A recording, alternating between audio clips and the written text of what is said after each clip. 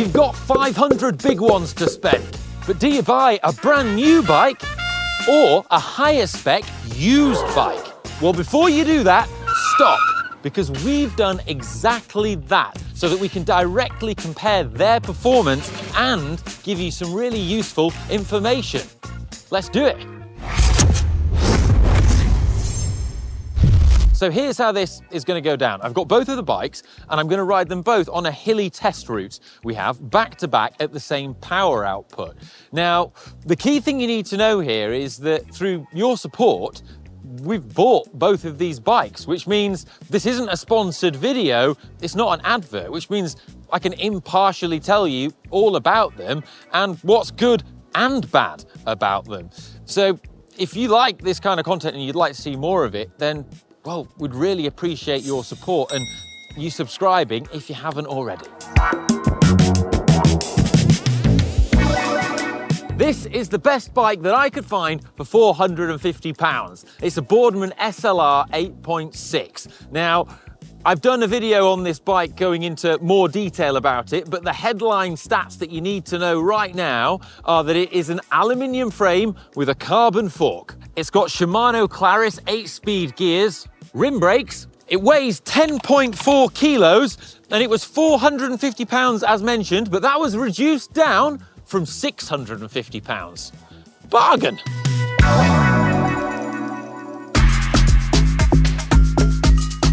And it's up against this beautiful Pinarello Uno X Carbon. Now you may recall that I actually bought this bike a while ago secondhand and I even did a video where we rode it up the Stelvio Pass. Now it did used to have a ridiculous head tube thing going on. We've sorted that out. But the headline stats you need to know are that it is a full carbon monocoque frame and fork. It also has rim brakes, the group set is Shimano 10-speed with a mixture of different components. We've got Tiagra brakes, uh, Ultegra derailleurs, a Ultegra chain set and 105 shifters. It weighs 8.4 kilos and it cost me 500 of the King's English pounds on Facebook Marketplace. But when it was new, back in 2010, it would have retailed around 2,000 pounds.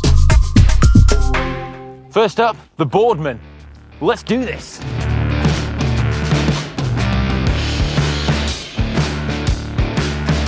On both these runs, I'm aiming to average 200 watts, but whatever I do on the first one, I'll just make sure I repeat it on the second one.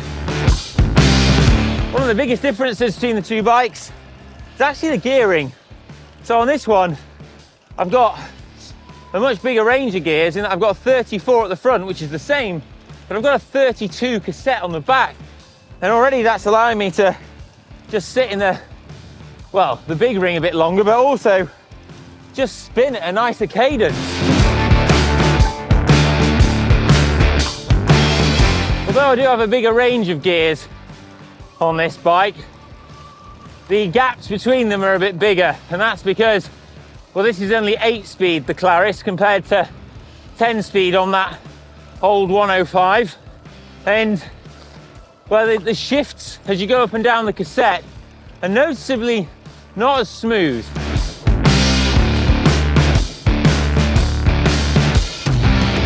Something for players of GCN Tech Bingo though, trickle down tech. These shifters on the new Claris, oh, mega.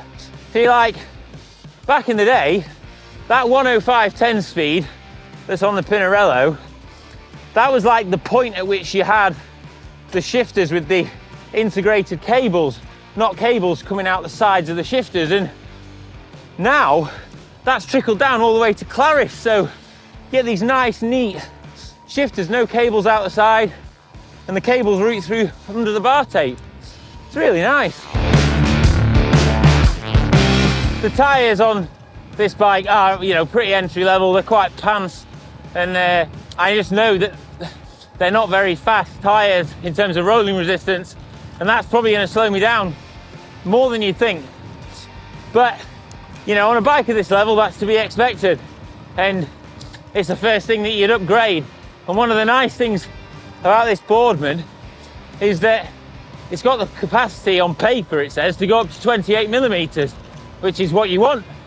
You know, but looking at it, I think you could get even bigger than that in there. Just coming up to the turnaround point. Whoa, and then we begin the big descent. Woo! Let's see what these brakes can do.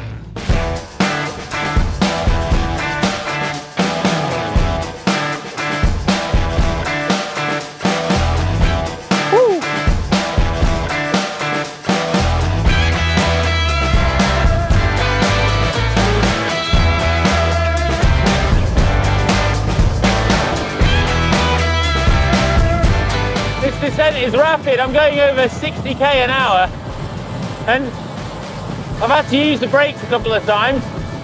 But, you know, these are entry level brakes, but they're perfectly fine. Yeah, they don't have the performance of high end hydraulic discs, but people forget, I think, how capable just basic rim brakes are when they're set up correctly on alloy rims. You know, carbon rims with rim brakes are pretty pants, especially in the wet, but you know, rim brakes on alloy rims, they're perfectly good. I'd have no hesitation about riding rim brakes on alloy rims in the mountains. Just coming into the finish now. I'll hit lap on the Wahoo. There we go. Now time for the Pinarello. Looking forward to this one. Right.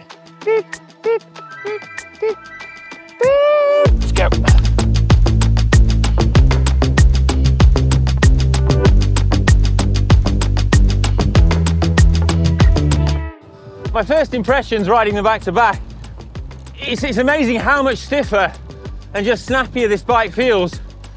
Just accelerating off the line anytime we go up a little, a little rise. And I think that's, well, it's, clearly the, the weight difference between the two is going to be significant. It's quite a bit. And also, this is going to be a stiffer bike being made from carbon fiber. As for the difference that that makes in the overall times, well, we'll have to wait and see. But I think it's going to be quite surprising for you. Another big difference is comfort. This is noticeably less comfortable and over a long ride, that could be significant. And the reason as to why, I'm pretty sure is down to the tires. Now, one of the big differences between bikes of this age and new bikes is that tyre clearance has just continued to get bigger and bigger and bigger. And that means you can fit bigger tyres, which are more comfortable and also faster rolling.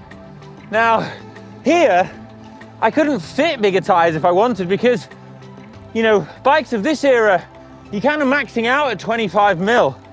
And that's just because the brakes don't accommodate it and the frame doesn't accommodate it. You can see on here, like, how close these 25s are to the edge of the frame. You know, where you live has a lot of smooth roads, it's, it's probably not much of an issue, but it's just something that's worth bearing in mind when you're making a decision.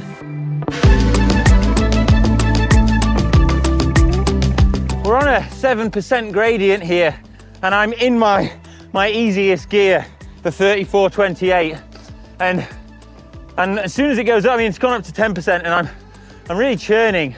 And, it, and that highlights one of the big evolutions of bikes in the last 10, 15 years is gears have also got way easier. You know, it's common now for the pros to have a 34 tooth cassette on the back. I've only got a 28.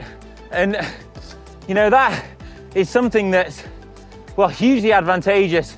It means that you don't build up as much lactate, you're not as anaerobic, you're not churning on the climbs. Being able to spin is just the way to go, spin to win.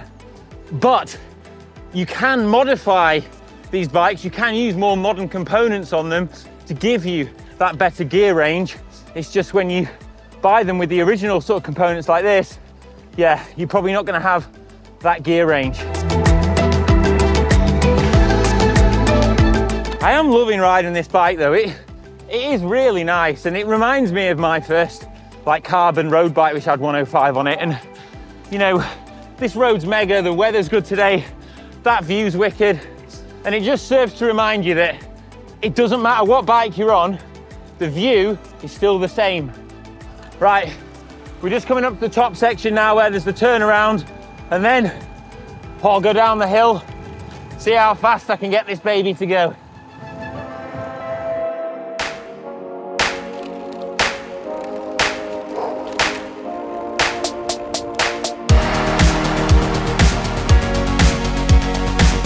Just coming up to the fast section now.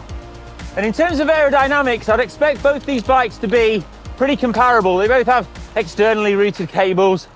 They both have entry level shallow wheels and frames that aren't especially aerodynamic. You know, the frames don't have, you know, the aero features that you get on much more expensive bikes.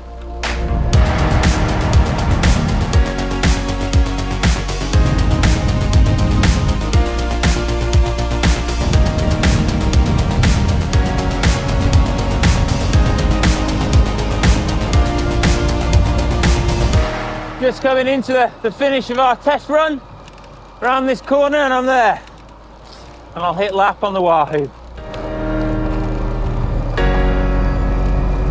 Done.